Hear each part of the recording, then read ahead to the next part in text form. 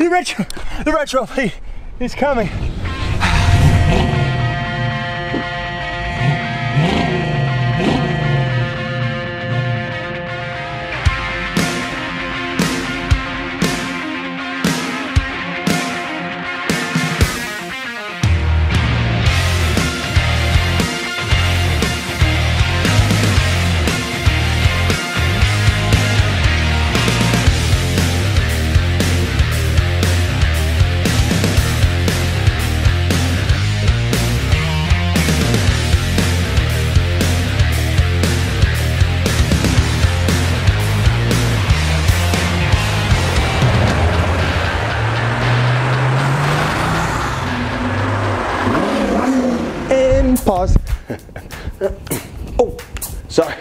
Wrong channel. This one.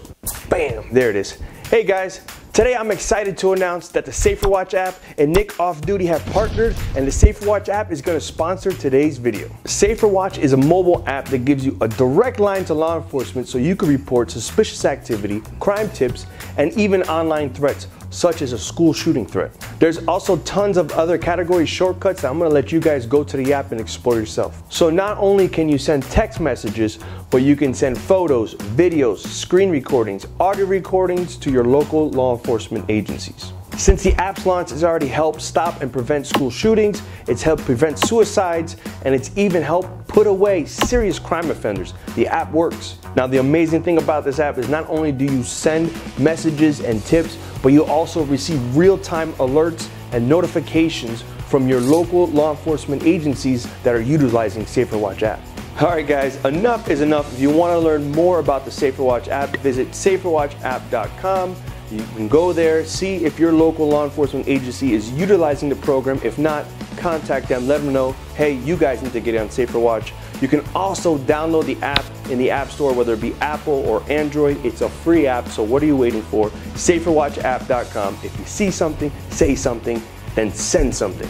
All right, let's get back to the. Before we go, make sure you stay to the end of this video. Trust me, you're not gonna regret it. All right, let's get back to the video.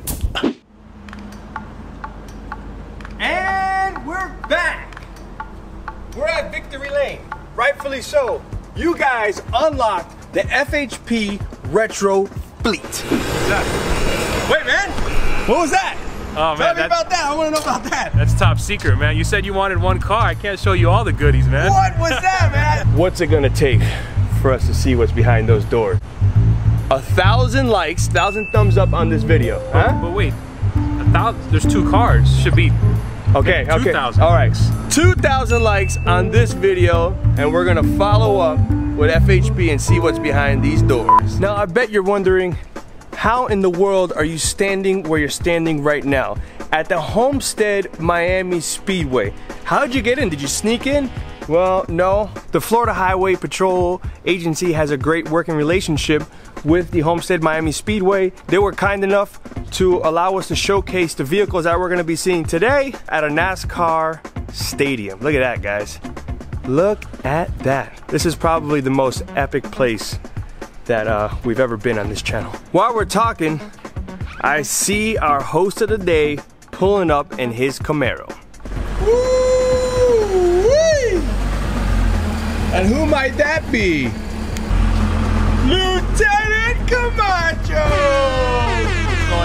Spot? What's up, Nick? Back on the vlog. What's up, man? Yes, sir. Happy Oh, to be here. God, man, I'm gonna say it like 500 times throughout the vlog, but my man, you came through. Hey, we promised the Nod Squad we were gonna do it, and here we are. So LT, I must say this, this is impressive. Yeah, it sure is. Hey, did you remember to mention the awesome relationship FHP has with Homestead Miami Speedway? Yes, I, I mentioned uh, briefly about it, how you guys work together, and that they were awesome enough to allow us this space to showcase the vehicle. Yeah, big shout out to them, big thank you to them. This venue's amazing, and really, it's gonna help contribute to the awesome results of this video. So it's the moment you guys been waiting for. Are you ready? I'm ready. Are you ready? Let's start the retro fleet.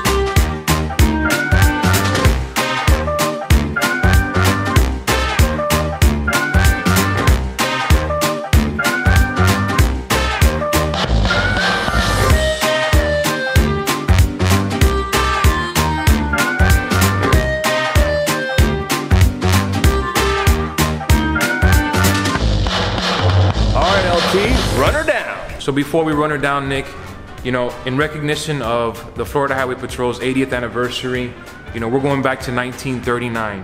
And here it is. This is where it all began. This car right here, the 1940 Ford Coupe.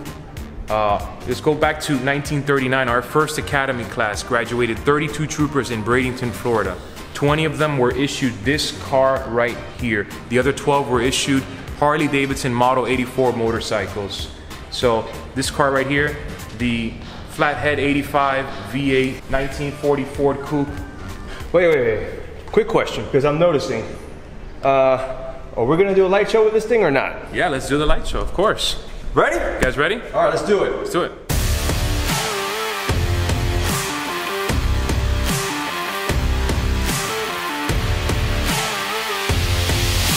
There it is. One light. One light. That's it. All I need is one light. That's it. Guys, all jokes aside, this was it. This was the emergency lighting back then. There's one red light in the front, one red light in the back. Again, we focus on the color scheme. You still see that black and tan, that traditional black and tan. Again, this is where it all started, guys. You see the State Highway Patrol insignia. You know, quick note, these cars, they didn't have air conditioning. So the troopers back then, you know, they're the real troopers working in this same heat that we have today in that car. They were all mandated to wear long sleeve uniform shirts without air conditioning. So they got by and uh, that made their job a little bit harder, that's for sure. So that pretty much meant if you got stopped, you were getting a ticket. The insignia here is a little bit different. Currently, we have the uh, insignia with the state flag on the side of the car, but this was actually our patch that we have on our uniforms. If you notice, this one actually says Florida. These, similar enough, don't say Florida, they just say FLA. And this was actually the insignia that was on the side of the car back then. That's what was utilized. And then again, the insignia in the back, similar to our patch, with of course the State Highway Patrol lettering in the back.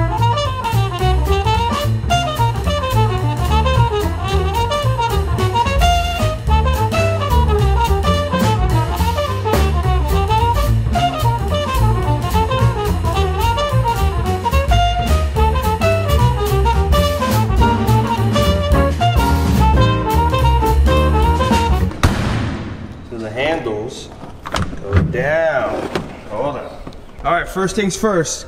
Crank the AC. I wish I could. No. Okay, and let's put on our seatbelts. Oh, no seat, none of that either. None of that either. Okay, so. All right, well, now we got that out of the way. Let's go for a spin, or not really. Let's run her down.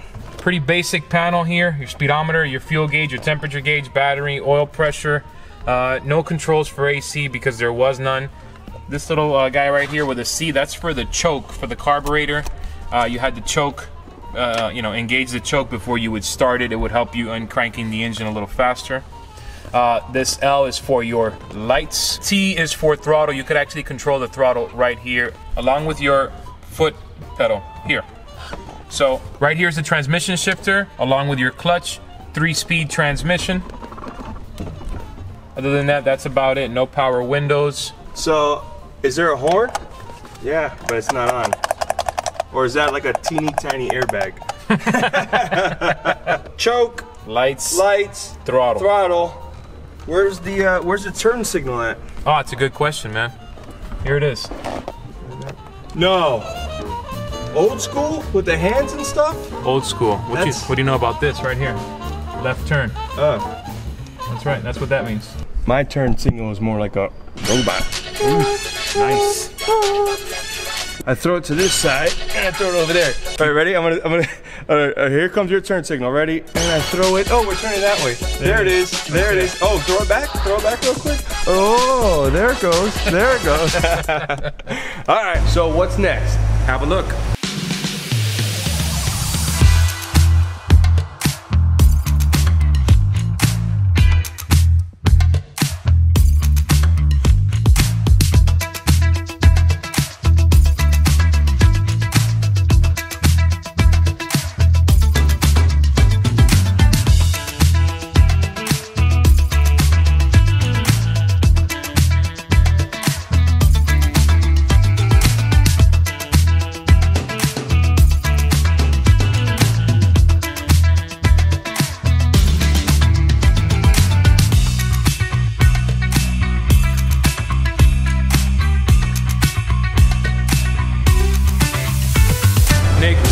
In the fleet, 1993 Ford Mustang 5.0 LX SSP Special Service Package. These cars at the time, it gave law enforcement more of a high performance, better handling option uh, to overtake some of these high performance vehicles at the time. So here it is again, uh, the legendary 5.0 Mustang, and we were lucky enough to use them as patrol cars. From the top, of course, 5.0 V8 package, State Trooper insignia. Don't forget the 5.0 badges. Original wheels 15 inch at the time. Now let's talk about our light bar here. The Jetsonic light bar made by Federal Signal Corporation. At the time, this was where it was at. Uh, as we know now, it used to draw a lot of power from the car, a lot of moving parts. Siren is integrated into the light bar itself. So the siren is that big uh, thing that you see in the middle there. So again, 1993, no LEDs. So what this is, it's an actual light bulb with a rotating gear case, rotating into a series of different color lenses, blue and white, which is what gives it that flashing pattern. No LEDs where you can adjust the patterns here, just a simple rotating gear case with one bulb with different color lenses all around it. Uh, again, we talked about tradition in the last video, and FHP is big on tradition. The traditional paint scheme, as you still see here, car is still in factory condition. And let's not forget the tailpipes. So the rear deck, again, we have the strobe lights that were mounted onto the rear panel here. Uh, some of the newer cars, you see them integrated with the LED lights. But of course, being 1993, this was the best available technology at the time. The strobe lights mounted on the rear deck here.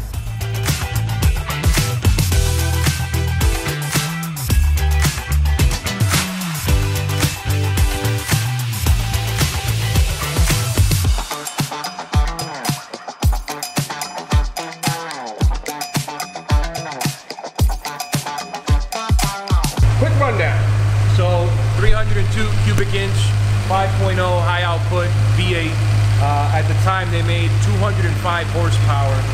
Uh, of course, that very unique, very popular exhaust sound they always made was always a favorite for all the Ford fans. And quite honestly, it was a pretty awesome patrol car for the time.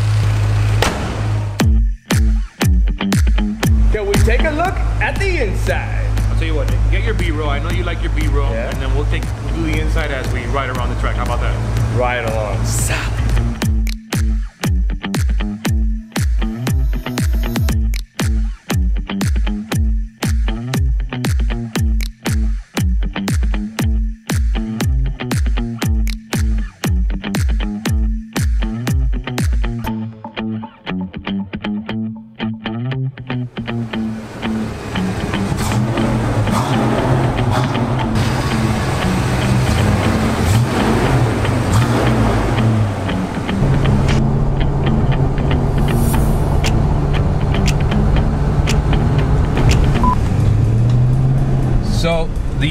Florida Highway Patrol back in 1983, they actually decided to add the Ford Mustang uh, SSP Special Service Package to their fleet.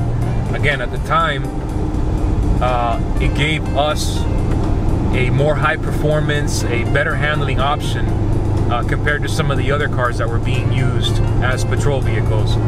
So when the Mustang came around, it was known for its handling capabilities, and it really uh, gave us a much better uh, option uh, when it came to performance and, of course, uh, handling. These uh, originals? So the one at the bottom is the original Motorola radio, and they actually put the uh, the newer one on top instead of removing it again for preservation purposes. They kept the original radio here. They added the newer one on top.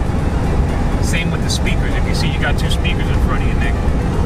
The Motorola is the first one, and the one right next to it is the one that we currently use.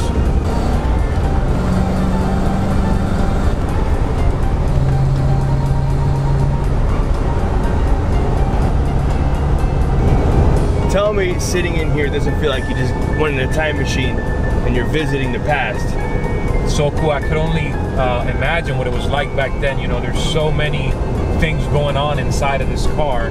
Number one, it's a manual transmission. So you got to worry about your clutch. You got to worry about shifting through the gears. You got your radio.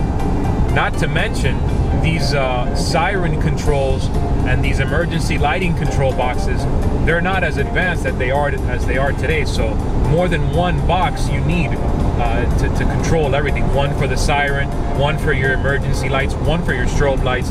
Then you got the radio. You got calls coming in. You're shifting gears. You don't want to stall out. You got the clutch. So there was a lot going on in here. So as you could imagine, uh, not every trooper back then knew how to drive a manual transmission. So it was actually mandatory if you were going to be issued a Mustang, you had to drive to our training academy and get certified in uh, the Ford Mustang, the, in the SSP package. Number one, if you didn't know how to drive stick shift, you learn how to drive uh, stick shift. And of course, you couldn't compare the handling capabilities of this car compared to the other cars that were being used at the time. So troopers had to get certified number one in driving a manual transmission, and of course, the handling and all the other uh, better performing characteristics of this car. Want to run code three? Can we do it? Sure. In the Mustang.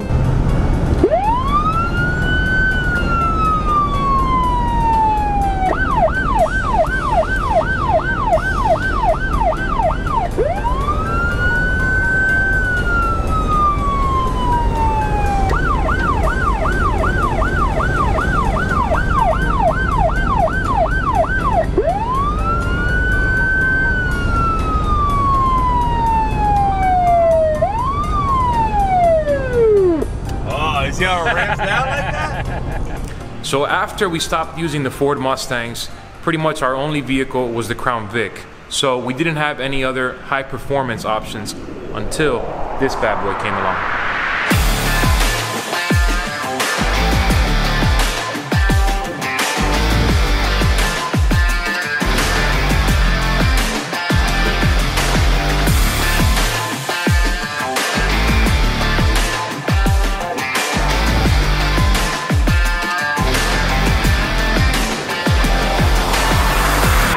Top, 2002 Chevy Camaro, 35th anniversary, LS1 5.7 V8 under the hood, making 320 horsepower. Again, more of a high performance, better handling option uh, when compared to the Crown Victoria. Run down from the top, guys.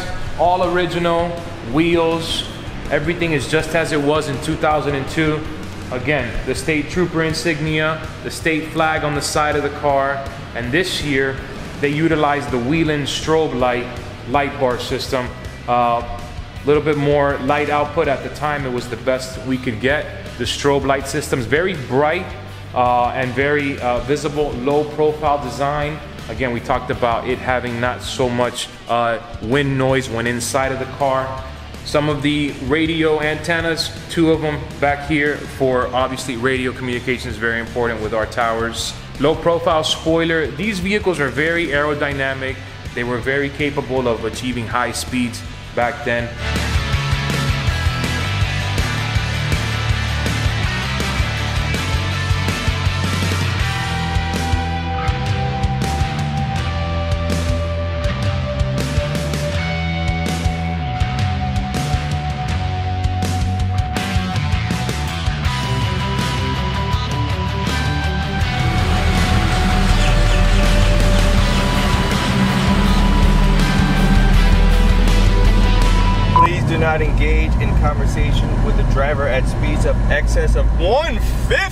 Well, we know the car is capable of reaching those kind of speeds, but we'll make sure we keep it under.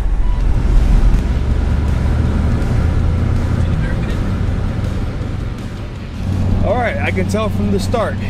Automatic, no stick, a little bit easier than the Mustang, so they changed things up. Much easier, less of a distraction, you know, just put it in drive, and that's one uh, less thing we have to worry about when we're patrolling. But still has all the horses. This thing has some giddy up. Actually has more than the Mustang. This one makes 320. The Mustang only made about 205. So this one actually has a higher performance rating than the Mustang. Run down the smart siren box from Whelen, again controlling our sirens, all of our emergency lighting, our takedown lighting, all in one box. We have our radio system again for communications with our uh, towers. Little bit different than the one we usually see in the other cars. This one was modified because the interior of the Camaro is so uh, much smaller, much tighter in here. Uh, so we had to get a different uh, radio uh, system for that. The speaker for the radio is actually behind me, if you notice, in the panel right back here, so that the troopers could hear it better. It's closer to your ear. Uh, being this, this this engine was a little bit louder, so this would help in hearing uh, all of the service calls that were coming out. Hey, we stepped our game up to CDs now, huh? CDs, yeah. No, CDs. no more cassettes. We're moving on up. So a common thing I've been seeing is uh, no cages. I mean, that's tight already. I don't think you could fit anybody back there. How, how did it happen if you pulled somebody over, they had a warrant, or you had to make an arrest? How did it, how did it go? So like we saw in the Mustang, we see it here in this one. These cars obviously don't have cages. They don't have that partition that separates you from your arrestee. So uh, the first thing we did was we would call for another unit, another officer to come with a caged unit, and they would be our transport officer. They would uh, assist us in transporting them to the jail. And sometimes um, those transporting units weren't available. So worst case scenario, we would put prisoners or arrestees front seat of our car as long as that they weren't uh, being uh, aggressive. So uh, we would have to put them sometimes right here, right where you're sitting, Nick. I'm getting flashback to the last police car when you locked me in the back seat and you told me I was under arrest. That was a good. That was a good one. That was good.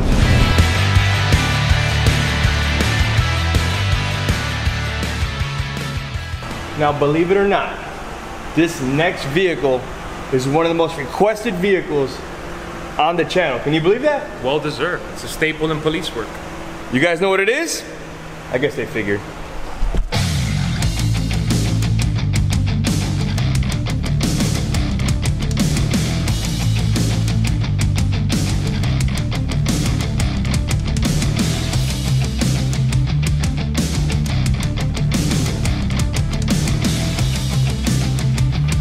From the top, 4.6 V8, 250 horsepower, 17 inch wheels. Again, the traditional paint scheme as always. Same insignia that we see on all of our patrol cars. So the 2011 is the last year the Crown Victorias were made. After that, Ford no longer uh, manufactured the Crown Victoria. So this is the last year they were made right here.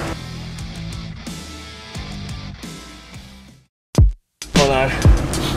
Yeah. Smells like a Vic, all right. So from the top here, we have our radio microphone. We have our PA system microphone. The speakers in the front grill.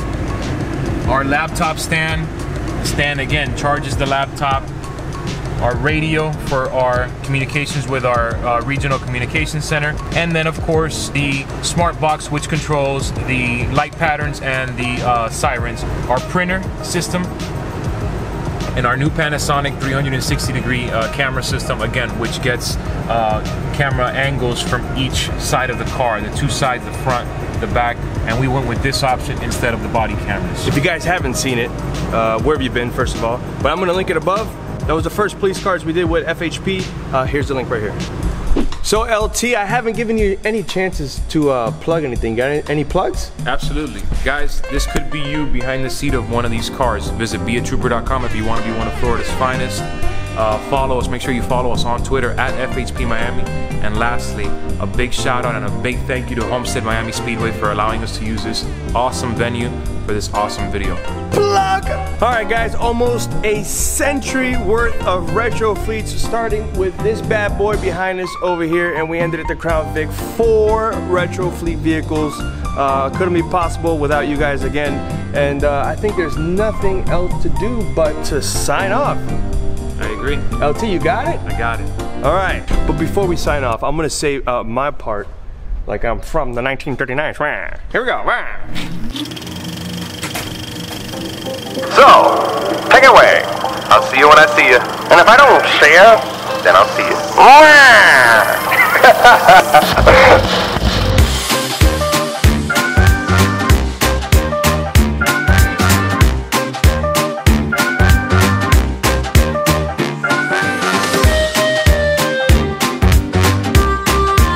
Uh, LT, what do you think you're doing? You're not gonna get away from it. You ready? Ready. Okay.